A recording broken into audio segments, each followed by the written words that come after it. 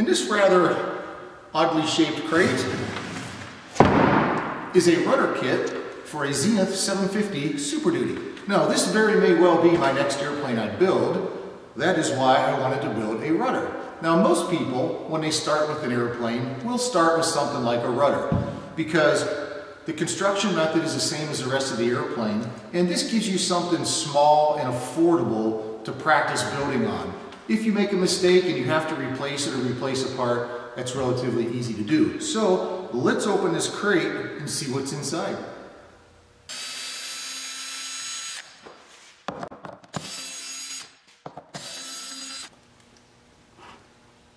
Ooh, nice.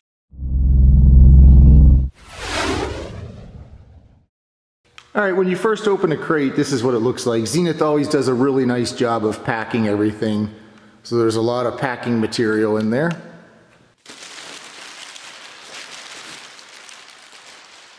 Well, and here's the actual parts. You can see the skin is here. Then we've got all the ribs and stuff. Looks like you get a nice, uh, that's a nice folder for the uh, instructions and manual. Now let's get all these parts out and opened. Now all of the parts are wrapped in this nice thick paper and they have tape around it. And I found the easiest way is just to carefully slice through that tape. Just make sure you don't go too far and scratch the, uh, the aluminum with your razor blade.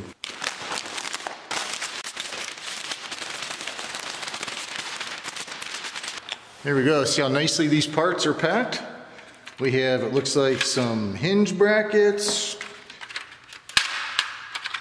This looks like the top rib, just because it's so small. I'm sure that's the very top of the rudder. Looks like we have all the other ribs. Parts really look nice. This bag right here is the A4 and A5 rivets. So these are A5s. The rest of the rivets in here are A4s. I want to show you guys what, what I do on here. These little containers right here are from mushrooms from the grocery store. I know there's a million different containers you can use, but if you eat mushrooms, these are free.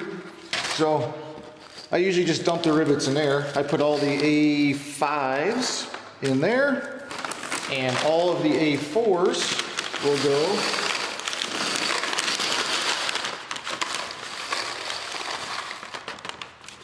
in there.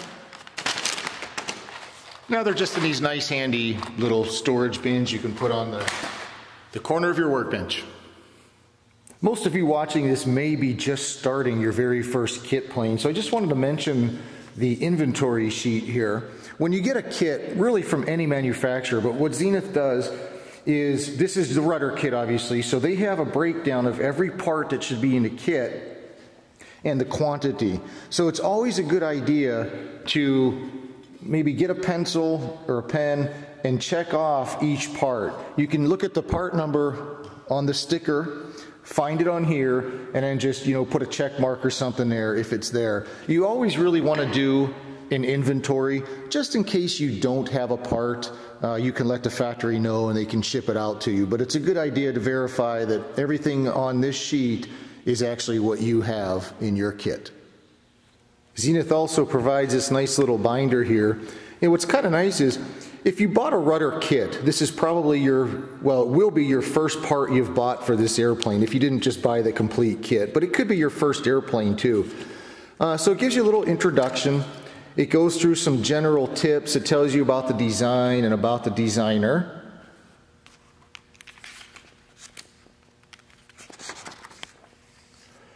Talks a little bit about sheet metal construction, different types of aluminum. And it goes on to talk just a little bit about the kit and what you'll be getting into.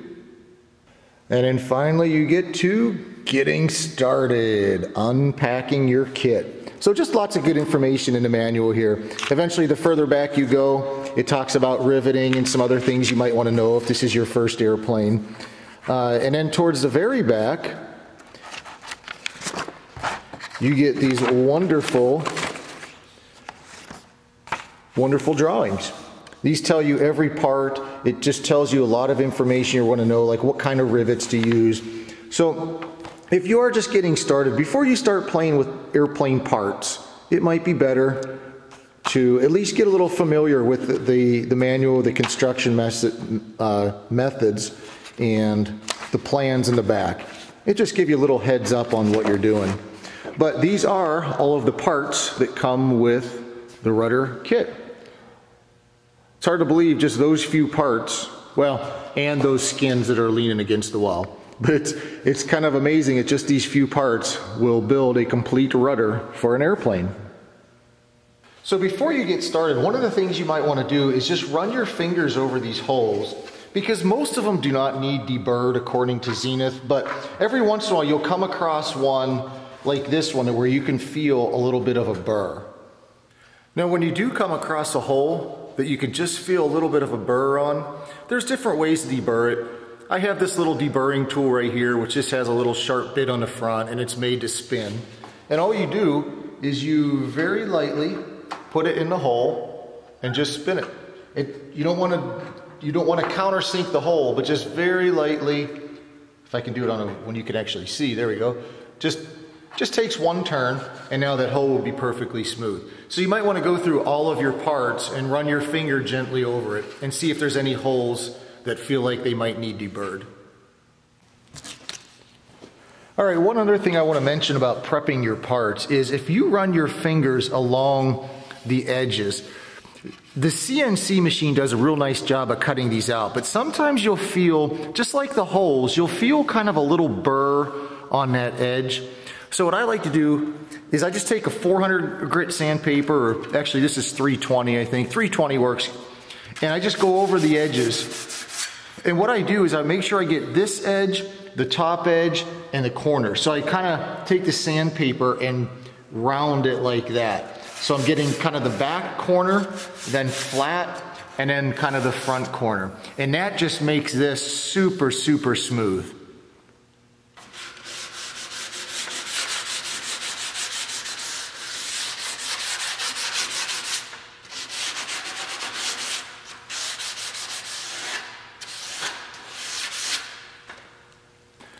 All right, guys, I realize a lot of the things I show you are not required to be done, but if you followed along on my Blue Angels Cruzer, you know that I'm kind of anal about just doing everything. And you'll notice on these uh, attach brackets here, it's got a real nice 90 degree corner. I don't like 90 degree corners because it can scratch your finger and theoretically they say 90 degree corners can lead to stress fractures. So what I'm gonna do is just, I round every corner, even on all the L angles in the airplane that you'll discover later. Uh, I always round the corners and I'll show you how I do that now. All I do is I take a file and I just go over that corner a few times and just slightly round it. Then I hit the corners just to remove the burr. And what you're looking at now, I don't know if you can even tell in the camera, but it's just a real real slight curve. It's nice and smooth as opposed to the sharp 90 degree curve on here. Only takes a few seconds to do. All right guys, I think we are ready to build. Now for this video, I'm only gonna take you through the building process of the skeleton for the rudder. Once it comes time to rivet on the skins and finish it up, go ahead and log on to Zenith's YouTube channel where they post videos from the online virtual workshop that they hold. What I did for my build is I just set up the camera and let it record the whole thing and then I edit it down for you. But I built this rudder during the virtual workshop that Zenith holds. Uh, it's a really good way to build a rudder. You can watch a lot of other people build at the same time. And Roger and the whole staff at Zenith are also available during the workshop to answer any of your questions you have. I'll go ahead and see if I can put a link down below to that video. Well, this is where I just set up the camera during the live Zenith rudder workshop. Just following step one and two of the instruction manual, I already have the hinges, or the hinge brackets clecoed on with the black rivets. Now I'm just putting in the spar doublers. There's a left and a right. And what's really nice is the way Zenith designed this is you can only put it on one way. You can't put these on the wrong way or the holes just won't line up. So once you get it in, go ahead and put on a or in a few rivets. After the rivets are in, the first thing I'm going to do is rivet on these hinge brackets. These are the A5 rivets. And you'll notice I'm using the pneumatic air riveter, but I can't get it on the end rivet because it the riveter itself is too big and hits the flange on the spar. So I'm using the handheld squeezer for these outside rivets. Once the outside rivets are in, I can remove the black Clecos and put in the other four rivets for the hinge brackets and then that part is all done.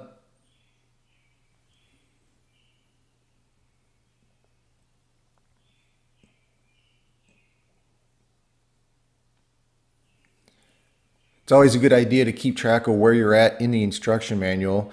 And in the manual, they give you a little space or a little box to put a check mark after you have accomplished that step so that you know when it's done.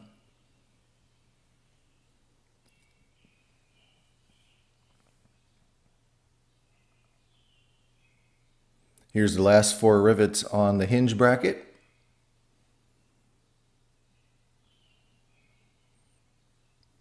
That's it. First step building the rudder is done. So the first step was to rivet on the hinge brackets. I believe the next step after that is to rivet on the spar doublers that we clecoed on to each side of the main spar. So you can go ahead and insert all of the rivets. It's easier to kind of put all the rivets in and then go and pull them after they're all in.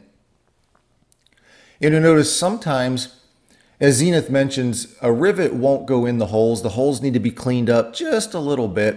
Sometimes it's due to a burr on the rivet. So if you can't put it in the hole, you can try a different rivet and a lot of times it'll actually go in. But if not, just take a drill bit and carefully go through the holes. The idea isn't to really open the holes and drill the, the holes larger. It's just to clean them up a little bit so that you can push a rivet through the hole. The fun part is actually squeezing all the rivets. Always look at your rivet gun and make sure you have the correct tip in it for the rivet you're using. There's a different tip for the A5 rivets than there is for the A4 rivets. So it might be a good idea to always check to make sure you have the correct tip inserted into your rivet gun.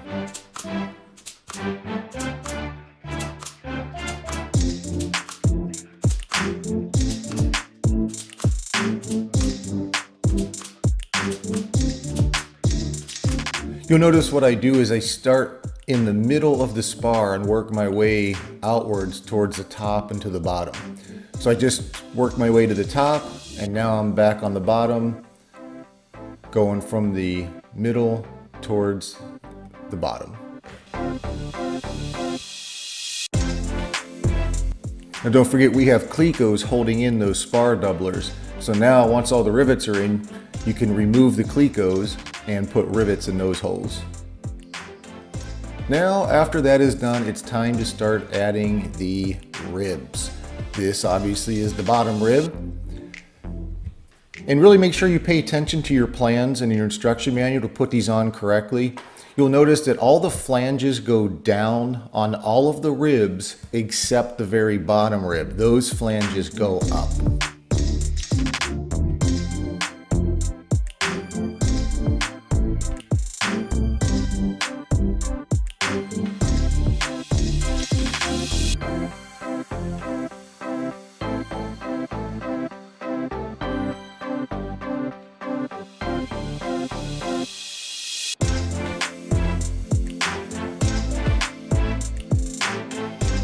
Again, don't forget to reference your manual, follow along, and put a check mark next to the steps that you have accomplished.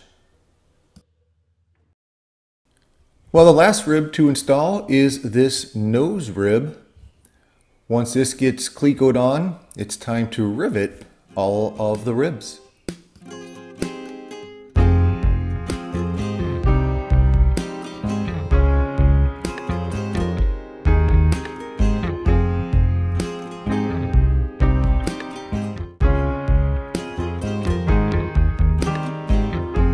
Well, after you finish riveting on the nose rib, congratulations, you have finished a skeleton for a Super Duty rudder.